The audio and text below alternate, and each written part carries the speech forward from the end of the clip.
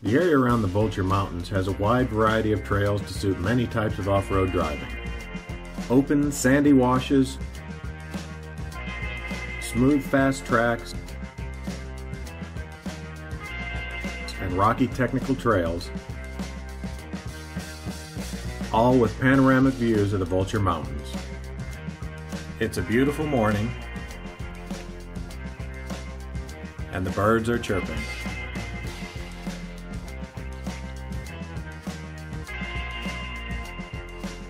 From the staging area, we'll head across the Little San Domingo Wash.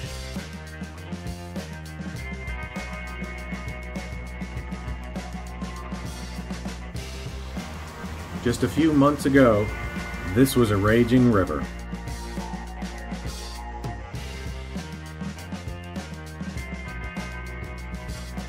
Now, it's just a big sandbox.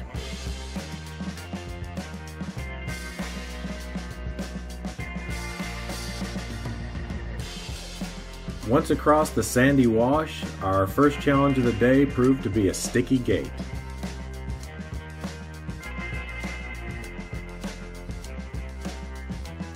Where we grew up, a gate and a fence meant keep out, but that's not necessarily the case here in Arizona. The Arizona State Land Department has great maps available that show where you can travel without straying onto private property. We got through the gate and made a left which led us up to a scenic vista overlooking the wash.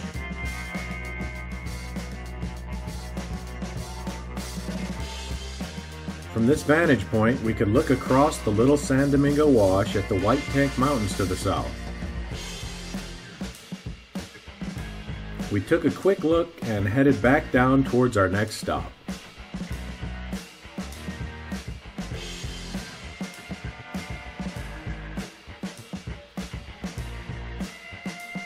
Wasn't too long before we found a few more challenging sections of the trail.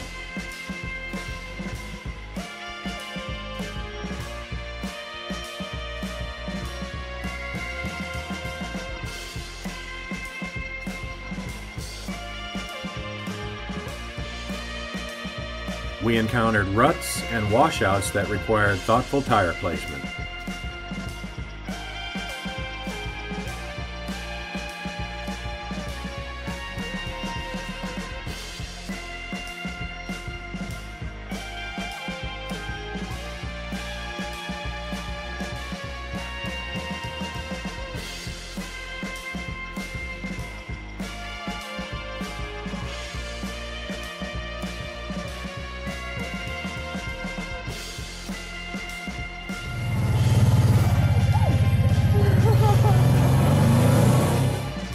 Wish we got that on video. We lifted a tire pretty good right there. I guess without at least a few challenges, this wouldn't be as exciting.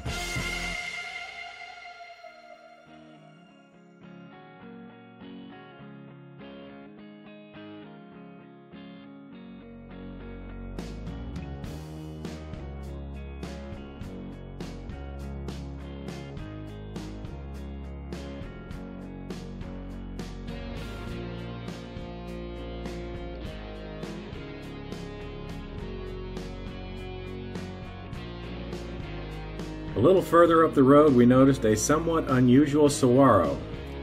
This one has four massive arms which are very tightly grouped.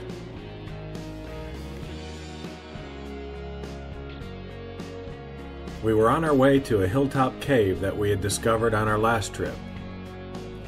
I saw a map where it's labeled as the Party Cave. I think the official name is Natural Arch. Okay, this is the road that goes up to the party cave. I'm sure on the video it doesn't look steep at all. Hi. But we've been here one time before, Mm-hmm. and when we were here last time, what did we see, baby? Um, two people in ATVs that couldn't get up the hill. Uh, very steep. So the hill's so steep that somebody couldn't make it up there on an ATV. That's that should tell you something. Yeah. So here we go.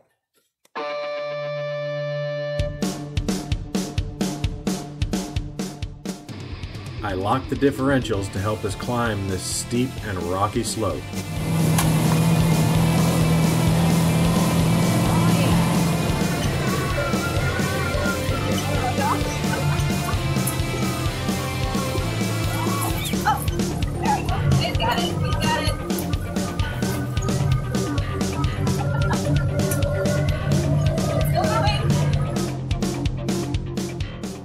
Kawasaki clawed its way to the top without a problem. You did it! Woo! All right, so here we are at the party cave. Not much of a party going on. Not much of a party, it's still early yet though. Yeah. Hold on. First one's here.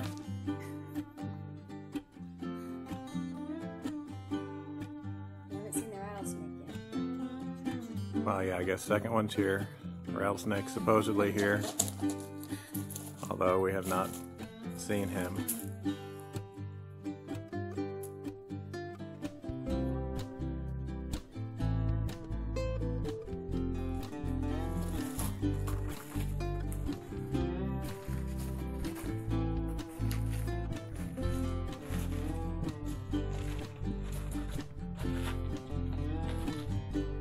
Being very watchful though, right?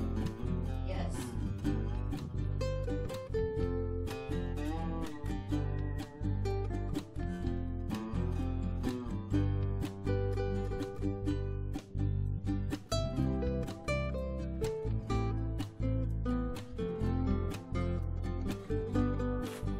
If it wasn't going to be 110 degrees, this would be a great place to set up and relax for the afternoon.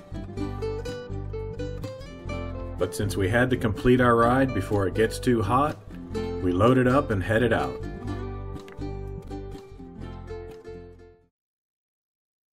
We slowly headed back down the hill from the cave, enjoying the view on the way down. About halfway down, I jumped out to do some trail maintenance. The trail got easier, and we decided to have some fun.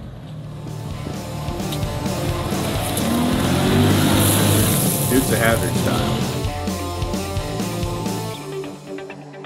This crested saguaro looked like he was waving at us. So we stopped to take a quick look.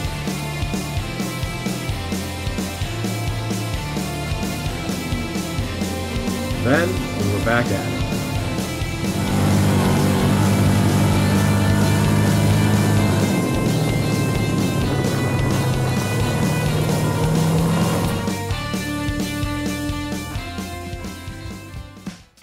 Wasn't too long until we came across another gate. Fortunately, this one was easier to manage. The trail section after the gate is particularly scenic because you're driving directly towards Vulture Peak. At this point, we took a little detour to look at what I believe is the Cactus Queen mine. Documentation of the mine is sparse, and there is conflicting information regarding the exact location. I found this mine site to be particularly interesting because some of the mechanisms were still present at the top of the shaft, which gave an idea of how the miners and ore would be transported in and out of the vertical shaft. The Cactus Queen was registered in August of 1941 and produced fluorite, which has a variety of industrial applications.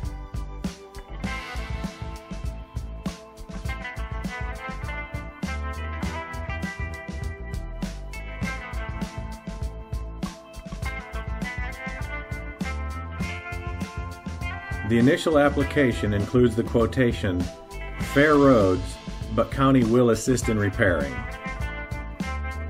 We headed out, and after leaving the mine, we found ourselves in a dense growth of cholla cactus. Chollas are beautiful to look at, but it's best to steer clear. This type of cactus has devilish little spines that embed themselves in whatever they touch, and they don't come out very easily.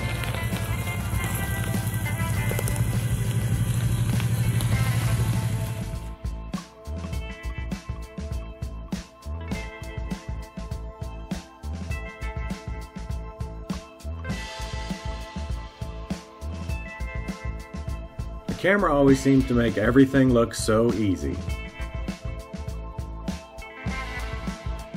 So I found this spot to do a little demonstration.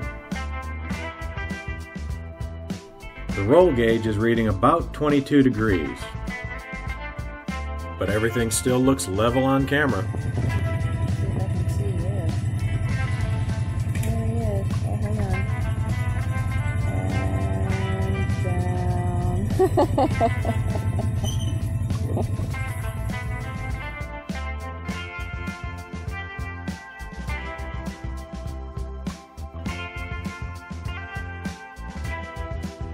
Looks like the little guy is still hanging on.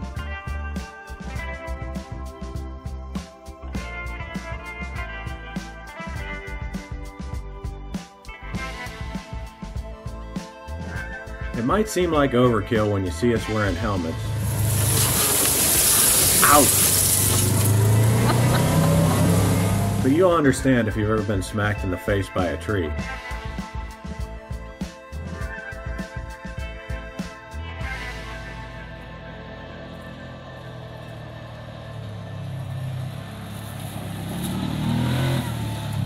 And the heavy gloves are because pretty much everything out here is trying to sting you, scratch you, or bite you. Sometimes we're not sure if quail remember that they can fly.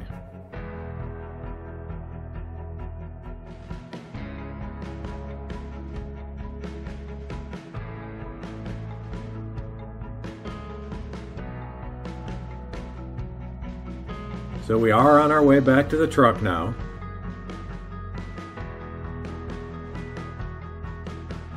And we're making an effort to be out of here before it gets too hot. After driving us through the trees, I got a little feedback from my co-pilot. Are you actually on your map there, Magellan? Yep. Okay.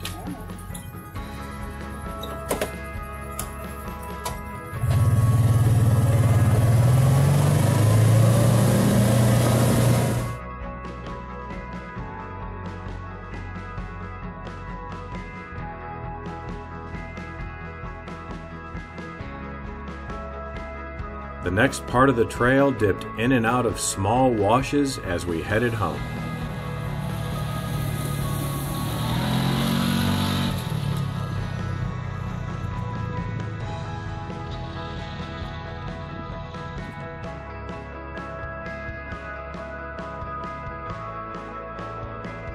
One last find for the day was this little stone cabin.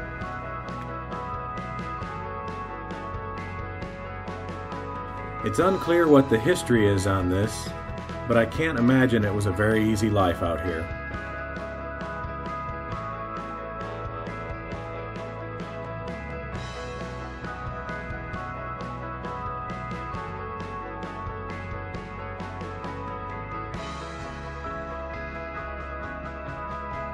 With the cabin behind us, we were on the final stretch. So I figured this would be a good time to make Carrie walk a little bit.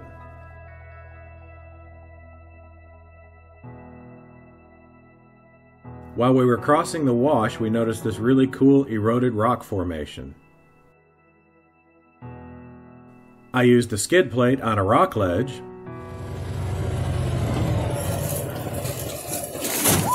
oh, heard that. That was a good one.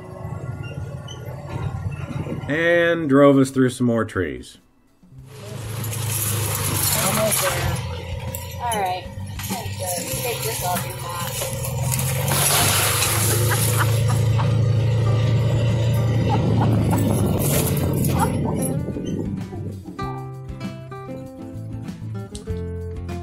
Now that we were back to the main wash, it was time to have just a little more fun before we headed home for the day.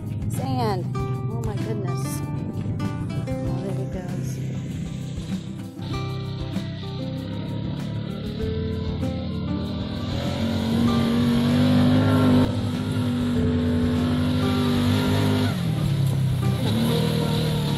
took over the camera work for a while and put our stunt driver at the controls.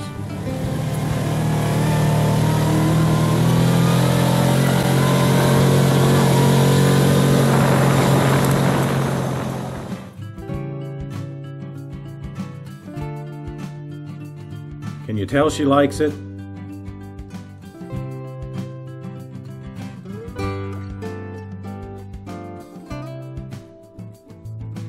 Once up to speed, the Kawasaki just floats on top of this soft sand.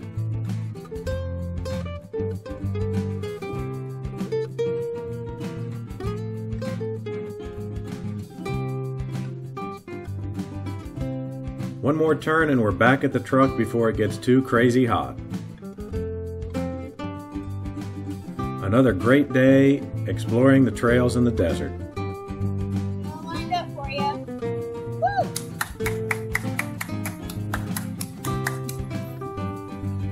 I like the race. Oh no, we got booted.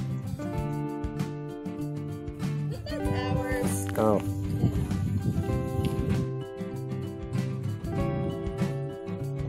Hope you enjoyed riding along with us today. We'll see you next time.